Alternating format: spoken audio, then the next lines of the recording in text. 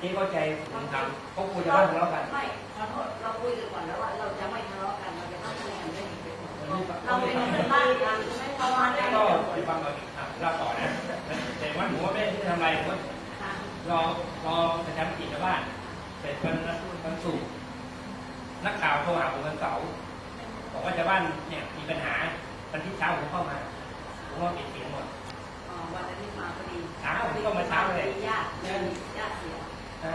ที่ที่จริงไม่ ได้มาผมมาเนี่ยสามโมงผมเข้ามาแล้วปิดเสียงหมดเลยเขาบอกว่าแล้วผมก็นัดวันนี้รอรอนัดวันนี้เสร็จผมจะได้คุยแล้วเออถ้าสบายใจนะเพราะผมจะบอกผมคุยกับเมียมาสองวันแล้วว่ามันมันยังไงถ้าเกิดว่าเมียเขาบอกว่าอย่าทำ นี่ก็ไม่ได้หลับเลยหลับไม่ลงแต่ว่า ทำไมเชื่อ คิดมาก เราไม่ไม่มีลายไงนะ ก็ก็เบอร์ผมดูเป็นหนึ่งลายนะเวลา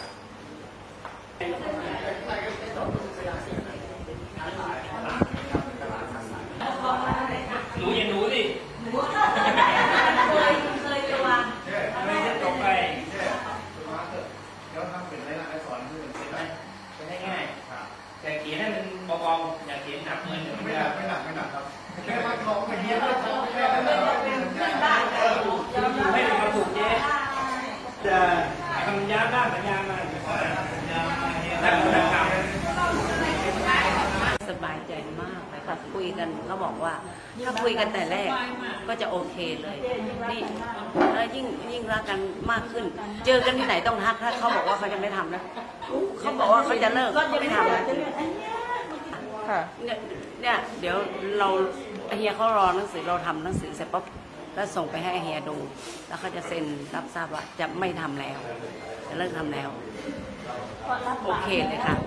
ตอนแรกก็ไม่ได้คุยกัน คุยกันแบบนี้คือเขาเห็นใจชาวบ้านก็โอเคหลับไม่ลงเลยตั้งแต่แรกๆไอเฮียเขาก็บอกว่าเขาก็หลับไม่ลง